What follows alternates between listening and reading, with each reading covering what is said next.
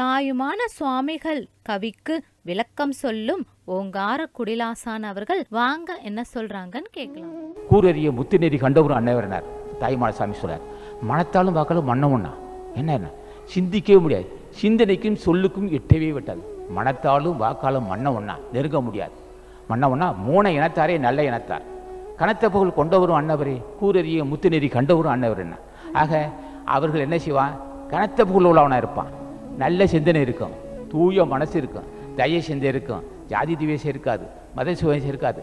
அன்புள்ளவன்ட்ட மதிப்பான். பிறருக்கு உதவி செய்வான். இதையும் செய்வான். உலகத்தில் தான் இருக்கும் காலம் வரையில் அற்புத செயல் செய்து கொண்டே இருப்பான். அது மட்டுமா செய்வான்? அது மட்டுமா அந்த வல்லமே? கூட்டுவனை வெல்லுகின்ற வல்லமை கூற்றம் குதித்தலும் கைகூடும். நோற்றலின் ஆற்றல் தலைப்பட்டவர் ஆற்றல் தலைப்பட்டவர். சிறந்த தவசிகளுக்கு இந்த வாய்ப்பு கிடைக்கும். எமனை வெல்லலாம்? எல்லாமே செய்யலாம். ஆக இவ்வளவு வாய்ப்பு இருந்தும் சமுதாயத்தில் யாரேனும் பூஜை செய்கிற முறை தெரியுமா? என்ன செய்ய தெரியும்? என்ன செய்கிறது என்ன செய்த ஆசை அவரெல்லாம் தினம் நாமத்தை சொல்லணும். யாரும் பூஜை செய்ய மாட்டான் இளமையிலேயே வயசு எண்பது வயசு. இல்லை நாற்பது வயசு தூங்கிடுவான் பகல் இரவு பகல் பகலில் பண்ண முடியாது இரவு பண்ண முடியாது. எண்பது வயசு வாழ்வான் நாற்பது ஆண்டு தூங்குவான் பதினஞ்சு ஆண்டு கல்வியில் போயிடும். நாற்பது பதினஞ்சு ஐம்பத்தஞ்சு போச்சு. மிச்சம் முப்பத்தஞ்சு வருஷம். இந்த முப்பத்தஞ்சு வருஷம் என்ன செய்வான்? காமத்தில் செலவு செய்வான். வீண் ஆரவாரம் செய்வான். கடைசியில் வீண் பொழுதை செய்வான். பொழுது சுருக்குவான். பொழுது சுருக்கிக்கிட்டு கடைசியில் வீணாக போயிடுவான். ஆக இப்படி உள்ளவர்களை செய்ய முடியும்? அப்போ நாள் கிடைக்கிறது அபூர்வம்.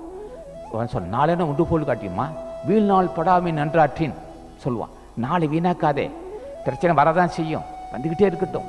அது பாட்டு அது பாட்டு வந்துக்கிட்டு இருக்கட்டும். மன ஒரு நிலைப்படாமல் இருக்கும். இப்படியே அல்லல் போட்டு இருப்பான். இதுக்கடையில் என்ன செய்யணும்? சரி தவசுக்கு என்ன நடணும் தினம் ஏதாவது ஒரு பெரிய கோயில்களுக்கு பழனி போகணும் சாமிமலை போகணும் தஞ்சை பெரியவனு பெரிய படுத்து இப்படியே செய்து பூஜை செய்துக்கிட்டு வந்து இப்படி செய்தால் மரணமில்லை பெருவாலும் பெறலாம் எல்லாமே கைகூடும் நினைத்த சாதிக்கலாம் பகைவனுக்கு பகைவன் அவசியம் இல்லை நண்பனை உயர்த்தலாம் கூட சார்ந்திருப்போம் நல்லபடி செய்யலாம் எல்லா நன்மையும் உண்டான்னு சொல்லுவான். ஆக இன்னதுக்கெல்லாம் நிறைய பேசலாம். ஆகவே ஜென்மத்தை கடைத்தேற்ற விரும்புகிறவர்கள் ஒன்றே ஒன்று ஞாபகத்துக் கொள்ள வேண்டும்.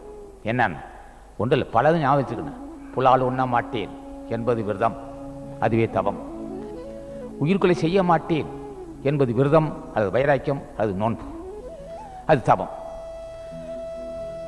தினம் பூஜை செய்யாமல் சாப்பிட மாட்டேன். அதுவே தவம் அதுவே நோன்பு அதுவே வைராக்கியம் அதுவே நோன்பு தவம்.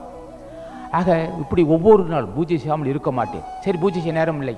எங்கே திருமணத்துக்கு போகிறான் இப்போ போய்கிட்டே தாமத்தை சொல்லிட்டா போயிட்டு இருப்பான் ஆக பூஜை செய்யாமல் சாப்பிட மாட்டேன். புலால் உண்ண மாட்டேன்.